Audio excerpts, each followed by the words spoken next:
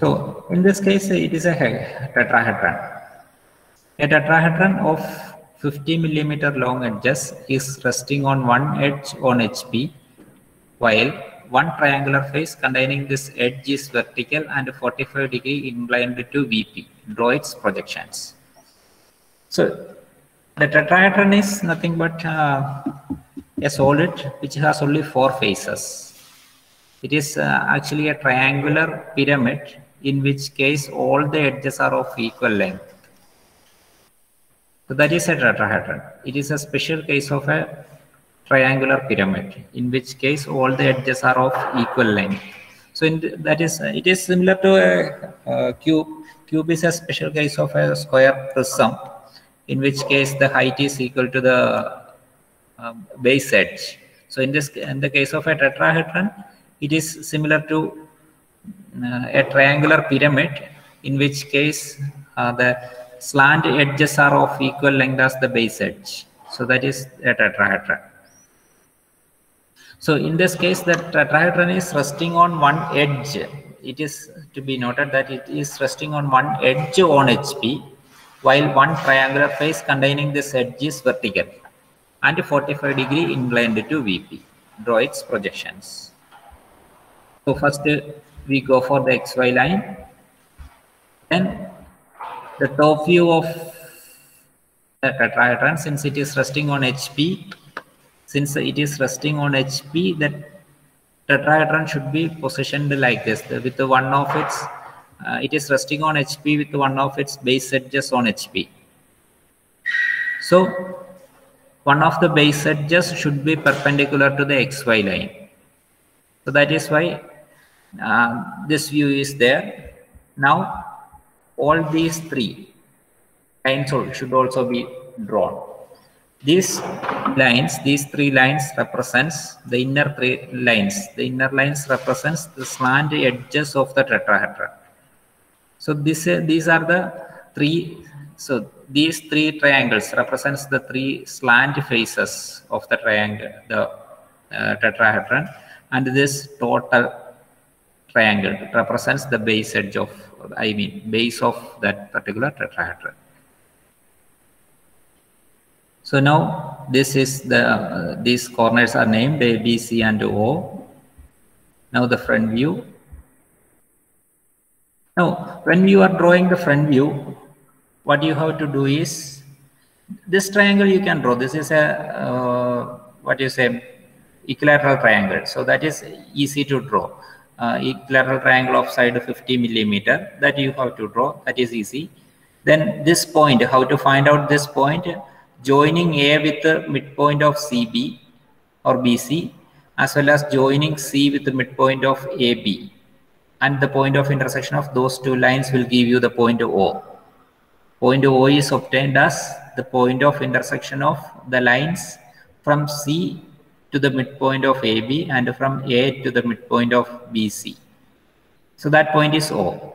And first what you, uh, in order to obtain this point, this line, in order to draw this particular line, first you draw from O, the axis is drawn like this. The axis line is drawn from O. Then A is marked here, the point A, A dash is marked here, point A dash is marked here, and from A dash take the distance 50 millimeter that is the edge the length of the edge. Take the length of the edge as 50 millimeter and uh, cut an arc here. So that will give you the point o dash. So this is how this edge is drawn. This edge is first drawn. Then you can join this length this uh, point b dash c dash with the o dash. So this is how the uh, front view of the tetrahedron is drawn. When the tetrahedron, of the front view of the tetrahedron is drawn, first you have to, in this position, that is in this position when the uh, front view of the tetrahedron is drawn, you have to first mark the point A dash, then the axis, then from A dash with the true length as the radius as the true length of the edge, mark a mark an arc here and that particular point will be O dash. Then join these things. So this is how the tetrahedron is drawn in the front view in this position. This, this is 50, the true length. Now what we have to do is what we uh, we need one of this triangular faces as vertical. In order to make this uh, edge, I mean the triangular face vertical, this is a triangular face O dash, B dash, C dash. So this is a triangular face OBC is a triangular face. So we keep that triangular face as vertical. So that is this particular edge is vertical, this particular edge is kept vertical and then this triangle is completed. This triangle is completed. This is the axis. Now the top view is also drawn. So the top view is also a rectangle with a middle line, with a line from A1 to O1. So that is it, the top view. Now the next condition is the axis is that this particular vertical face is making an angle of 45 degree with VP. So in the top view, this is COB. This particular line represents the edge, uh, sorry, the face which is perpendicular to the HP.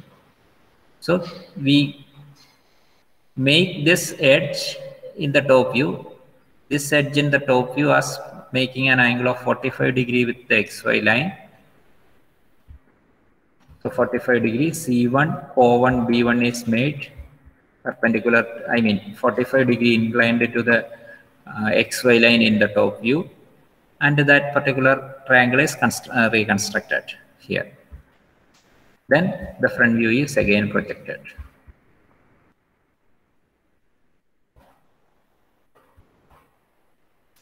So that is it. Sorry.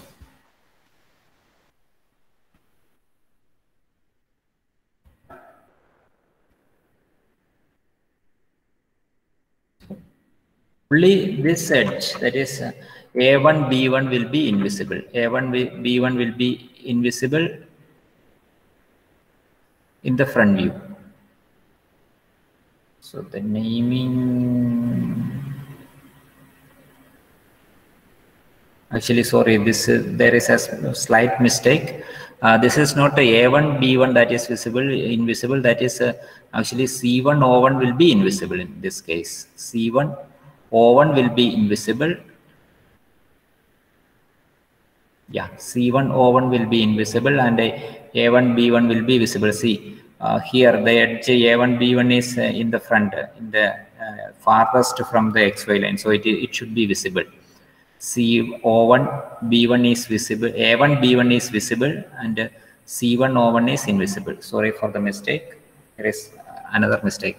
Uh, in this drawing. That is uh, A1, B1 is visible here and uh, C1, O1 is invisible.